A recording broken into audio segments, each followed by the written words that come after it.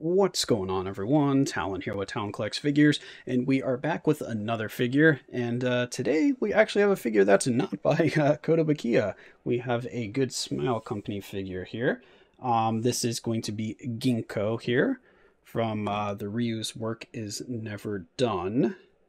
And it is going to be a kimono version uh, of her here. And this is actually going to be the very first kimono uh, figure that I have in my collection. So I have not gotten a single one before this, and that is mainly just because that's not really my collecting style. I usually only like to collect the characters that are in their basically I don't know what you call them, like their default outfit. So the outfit that you see the character in the anime in the most. So, you know, if it's a school anime, then in their school outfit. If it's it's uh, action anime, whatever their default like adventurer gear is, armor, this or that. Don't always like to get like say the bathing suit versions or the kimono versions or like the kind of special fan service episode ones. I don't know. I just always have liked to have them in their default attire. But Ginko here, uh, for some reason, when I saw this figure, I don't know, I just really wanted it, and there wasn't any, well, there wasn't a lot of options uh, for Ginko figures. There was a, was it a Taito figure? I don't remember who made it, but there was one with her in her normal school outfit, and I think it was like a 30 or $40 figure, and it didn't look bad, but I don't know. This one just caught my eye here. Um, this figure came out in October of 2022, so a little bit of an older figure now, but not by too much and I think the original release price for her was $108 if the if the website I'm looking at is to be believed. Because uh, right now, whenever I look her up, even on Good Smile's own website, she's $185 right now. So it seems like most places are selling her for like 180 to $200. Um, I ended up picking her up for only $120. So $120, that includes my shipping and tax because for some reason there was no shipping and tax uh, from the place I bought it from. I bought it from, was it Rabbit Tail Hobby? And that's their website. I've never ordered from them before, and they kind of have mixed reviews from just uh, regular buyer reviews. And a lot of them say that the products get damaged in shipping is the main complaint. I haven't really seen much about them saying that they you know, are shipping like counterfeit products or anything like that. Uh, but yeah, I had just never heard of the website before. But uh, they had her for a really cheap price, so I decided to give them a try, and everything looks official on the figure here. I mean, I guess we'll find out once I open up the box here.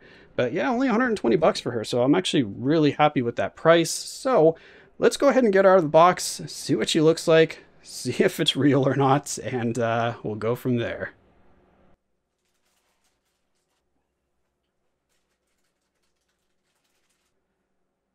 Okay, so got her out. Here she is. And initial impressions is a very high quality figure. Um, a lot of weight to her. The materials feel really nice. The sculpt looks really nice. So definitely uh, official figure. So they actually sent me the right thing. So that is good. Because if this is a fake one, it is very, very good. Wow. Nice detail on everything here. Very, very pretty. I especially like her little snowflake up here, which does actually feel pretty pretty sturdy, so nice thick print there on the snowflake so that it doesn't get broken too easily. I love that expression there. Kind of the complete opposite of her expressions uh, throughout the entire anime, but very, very cute nonetheless. So, okay, she's got her base here, so let's just go ahead and put her on here right now. Can, whoop, little ah, tight there. There we go. There we go. There we go. All right. And she's on. Stands up fine. We have the top of the parasol here, which is very, very nicely done. Because, you know, very clean lines on here for the paint. Or for the print. Looks very good. The underneath, got a lot of detail here. We've got all the nice wooden pegs. We've got a nice little orient uh, decoration here around the top. Oh, it even got like the the feel of like those um, umbrellas that you put in your drink. it's like that kind of plasticky, well not, yeah, kind of laminated plasticky feeling up there. And then we have the handle here, which is actually made out of metal. So that is nice. Nice sturdy metal. I don't know if that's Don't know if that's going to come up on my microphone here because I think I have some noise canceling going on. Uh, but anyway, looks good. So now, just got to figure out how to put this in without breaking it. So I probably want to put this on first here. Yeah, that just goes all the way up. And does she just hold it through here? Oh no, her hand doesn't seem to... I'm going to go look at the instructions before I try to force the umbrella where it doesn't go. yeah, it doesn't go through her hand, as you can see here. She just caresses it underneath. So let's see if we can do that. okay, and success. she is now holding her parasol here. So, there it is This kind of being held underneath this hand here. This one is kind of holding in place a little bit as well. And also uh, uses her hair, surprisingly, to keep it in place as well. If we take a...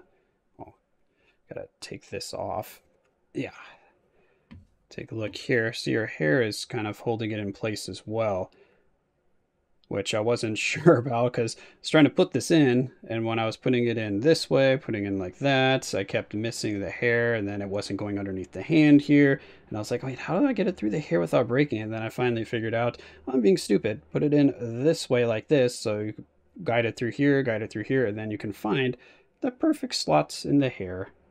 And now, put this on the top here, and there she is.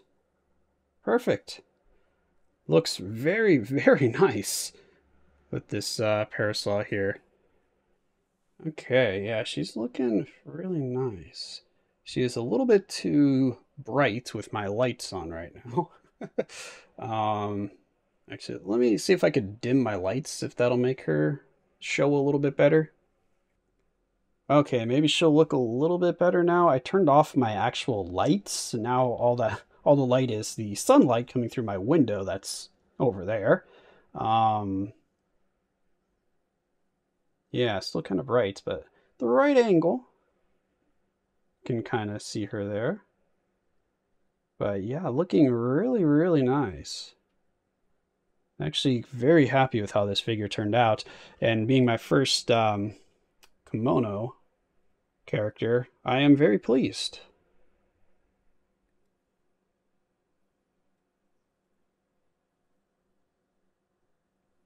Got the nice snow there on the ground, and the snowflake, of course, because she is the Ice Queen.